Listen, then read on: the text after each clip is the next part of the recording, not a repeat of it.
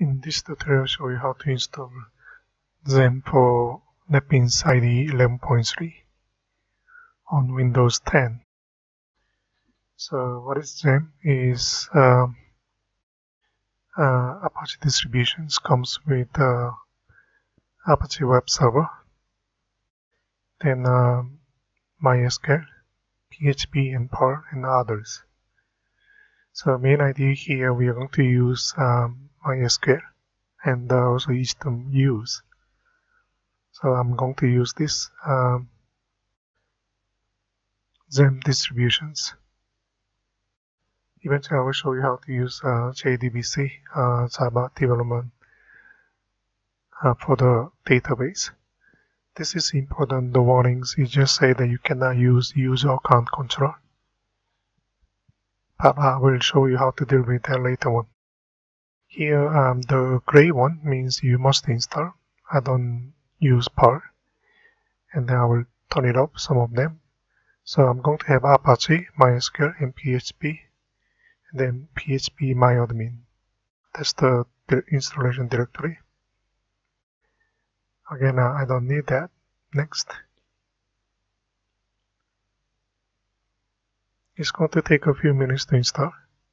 Actually, XAMPP uh, comes with um, MariaDB.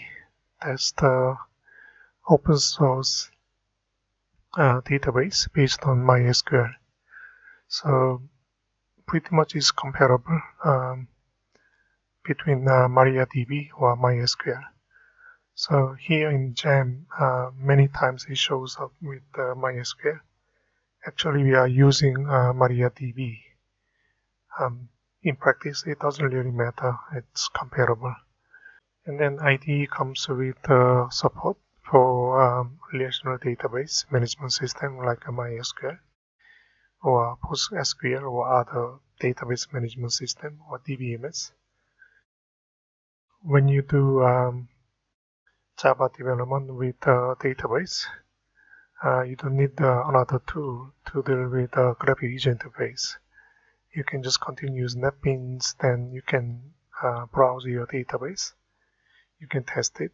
Um, you can select a certain record if you want to. Then it's easy to um, to use. Um, so that's why I'm using uh, NetBeans with uh, with the MySQL. Okay, this is not the best way to uh, launch control panel, but let's say as it is. Start Apache Web Server, MySQL. Then uh, we need to open uh, PHP MyAdmin. The computer configuration file has to be changed later on. Let's click uh, MyAdmin, sorry, uh, admin. And then here we type PHP MyAdmin.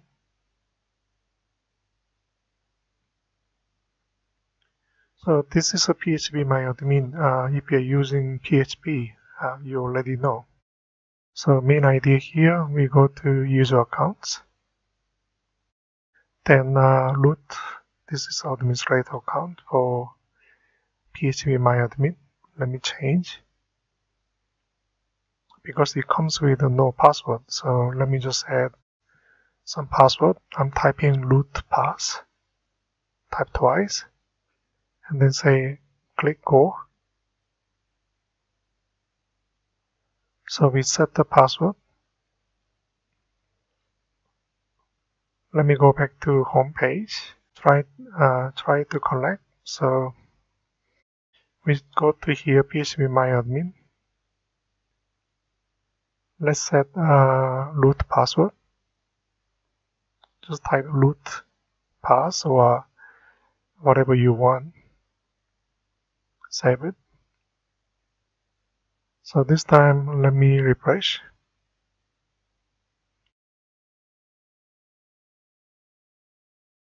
Now it's okay. That means I already log in with the same password. I'm going to use a test database for demonstrations. Instead of using root password, let me add new user, user number one. The host name I will use localhost. Then password I will say pass1. localhost means uh, reporting to your own machine. So we are not doing remote access, okay? So data and structure, I will select them all. No admin, no resource limit. Click go. So we just add one user to test database.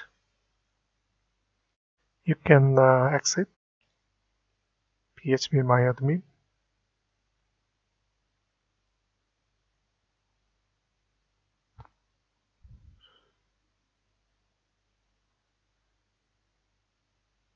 So as you can see here, um, user one is added to a database called test.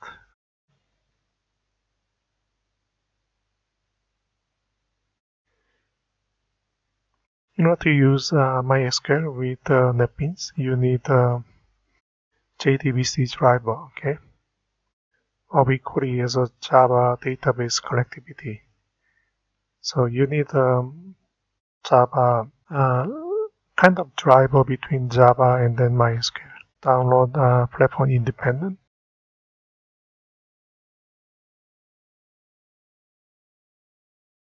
You can just say no thanks. Just start my download.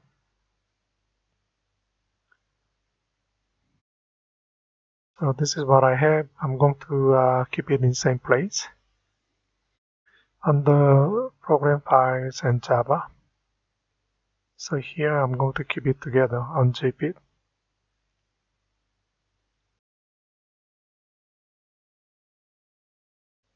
Continue.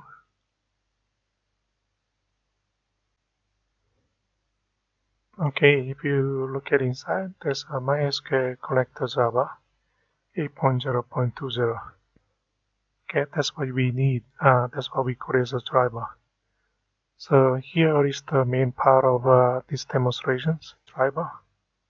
You go to um, C drive, Java, and then this connector, open. So here you driver class, uh, okay.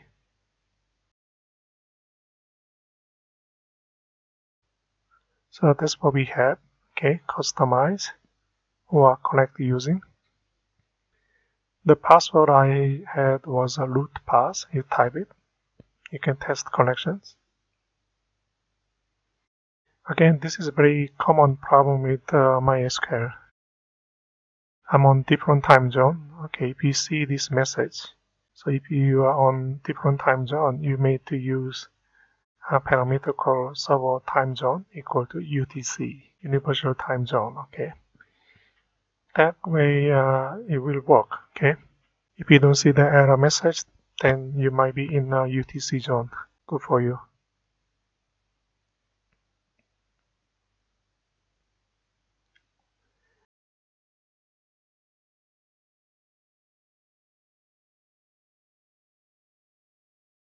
uh, let me have another one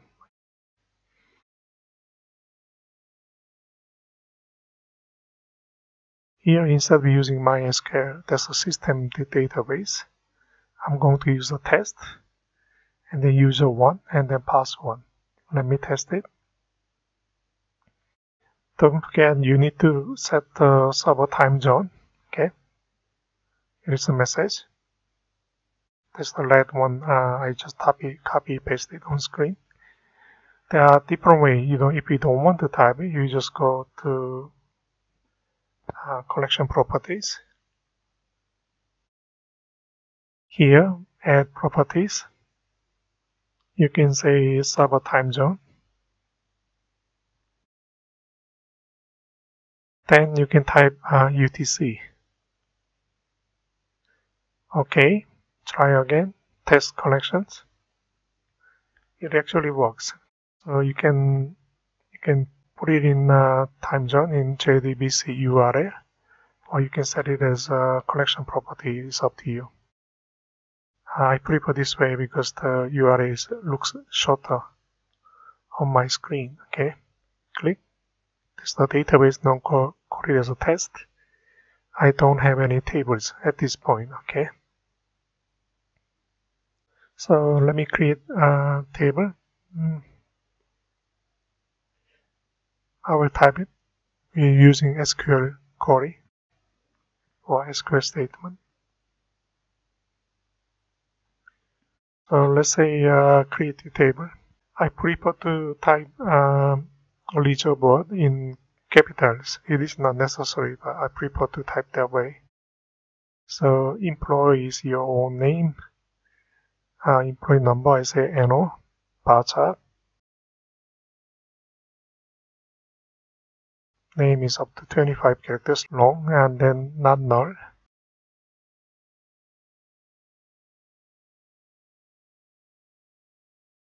Age and then uh, let's say gender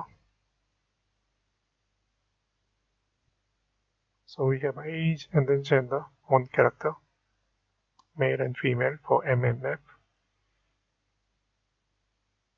sorry MOF address part uh, let's make it short 25 characters long. You don't nearly need a semicolon at the end of statement.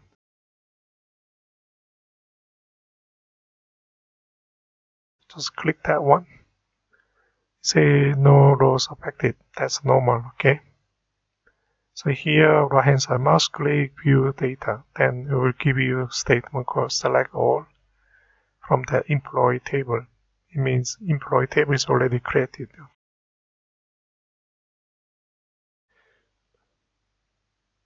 Let me insert some uh, dummy data or dummy record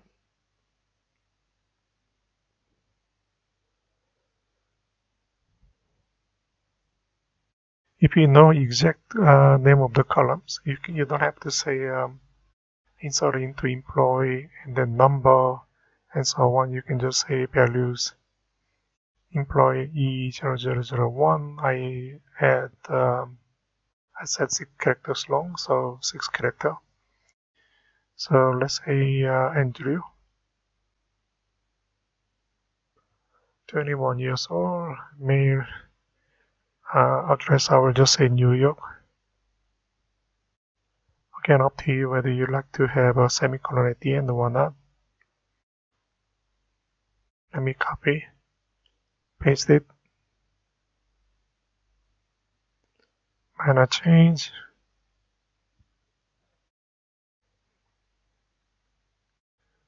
I assume that you are already familiar with uh, SQL was equal.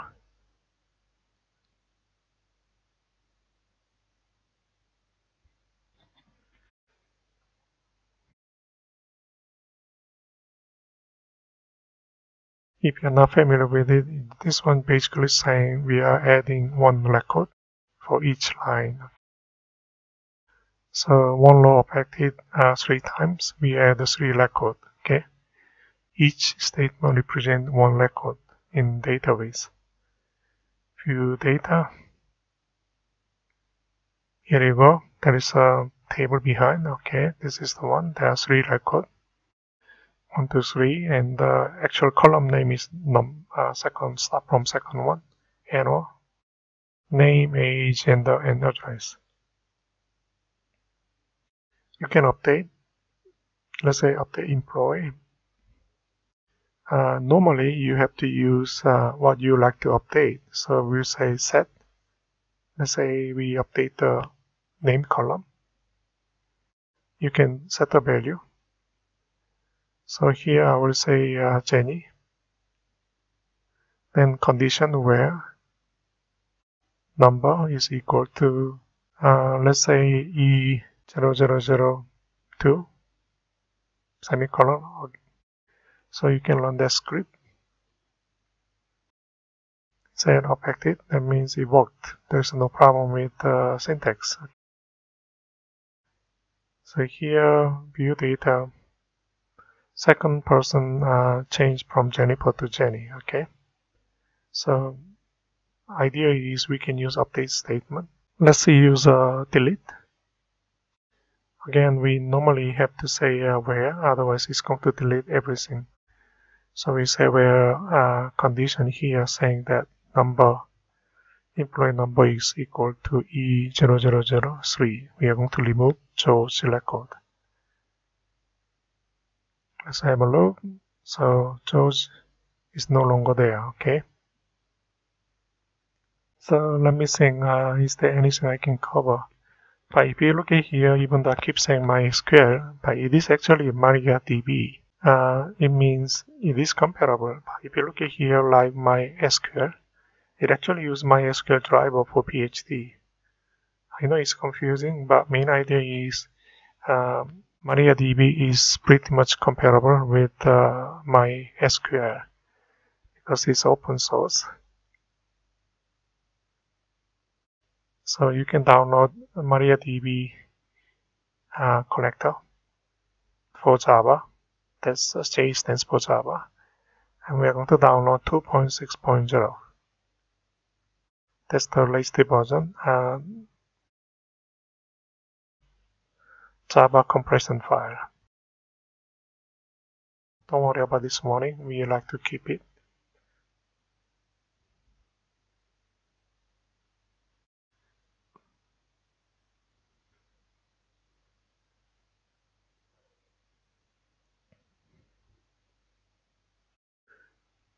So let me quickly demonstrate to you um, MariaDB that's what we are using at this point. So let me copy paste it to uh, Java installation directory. Then I'm going to use that uh, driver instead of MySQL. So here, let me create a new one. Not that one up there, MariaDB the driver class, okay, MariaDB, it says the MySQL compatible. Okay, let's uh, connect to the database. Here, try to remember, okay, MySQL, I will say test user one, user one. Uh, you don't really have to worry about um, server time zone it doesn't have a problem with uh, uh, MariaDB JDBC connector. Again, um, it's okay. You don't have to type it. Only MySQL has a problem with that. Finish. So we have a collections with uh, MariaDB. As you can see, we have uh, three connections to three different databases. So let me disconnect. So this one we are using MariaDB uh, connector for Java. So here you go. Okay. We are browsing same database called test using different uh, uh, JDBC driver. So if you prefer to use uh, MySQL, please go ahead with the MySQL driver. But you happen to using uh, with the MySQL driver, you got to be careful if you have different time zones. Here, um, I just found out that when you uh, launch XAMPP controller as a normal user, you may have this warning. Okay, so this is not difficult to fix. Okay, what you need to do is go back to your same installation directory, controller, properties, comparability. Here, run this program as an administrator. That's it. That's why at the beginning of installation, it give you a warning. You have to do something about UAC. So double click. You just start it then you don't need it anymore you stop. Let's see when you exit what happens? Nothing happens. Okay that's how you fix that problem okay? Um, please make sure you remember that okay? Thank you